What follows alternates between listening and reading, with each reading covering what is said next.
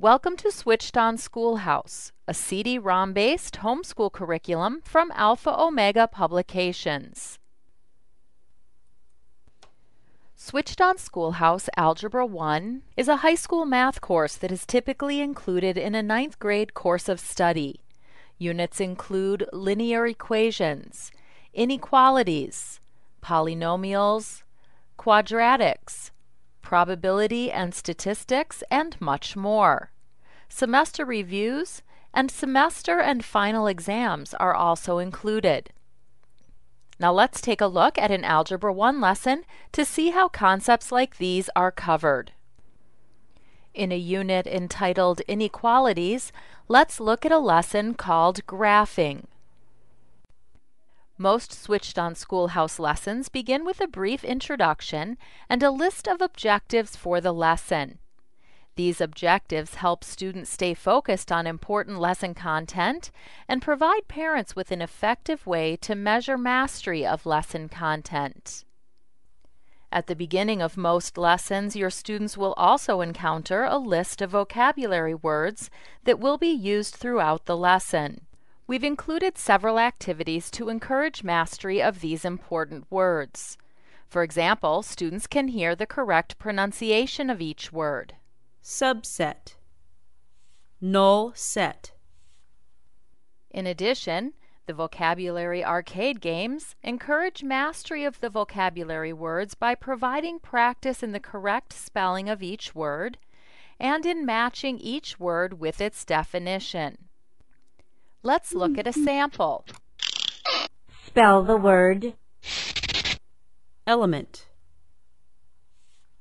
E L E M E N T. Yes. Flashcards allow students to easily review the words and their definitions. Math can be a difficult subject to teach, but switched on schoolhouse math courses provide text-based instruction interspersed with multimedia examples of difficult to grasp skills to assist parents in meeting the academic needs of even their most math-challenged students. The following slideshow provides reinforcement of an important concept. Remember Venn diagrams? The rectangle represents the universal set. Sets are normally written inside of braces. The universal set of natural numbers is infinite. The universal set of the integer 0 is finite. It has one element. Sets are defined by listing their members or by rule. A equals BH is a rule. Suppose we had the set A equals 3, 5, 7, 9, 11, 12. This symbol tells us that 3 is an element of A. The same symbol with a line through it means that 2 is not an element of A. Animations like this one may help your students better understand difficult concepts.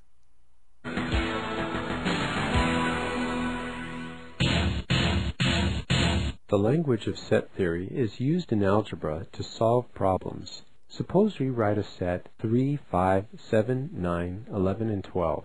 Then we say x is an even natural number in set A. Well, 12 is a subset of A. Since the variable x can be replaced by 12, the subset 12 is the replacement set, or the truth set for the unknown variable x that makes the statement true.